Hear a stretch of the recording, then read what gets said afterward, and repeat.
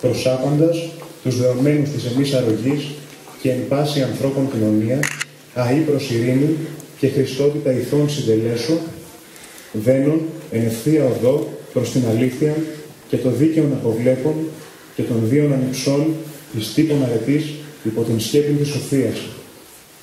Ταύτην την Ευαγγελία επιτελών, η μη, συν τη ευλογία των εμών καθηγητών και επεφυλημένων διδασκάλων. O Teošen dobio ga i Sošu.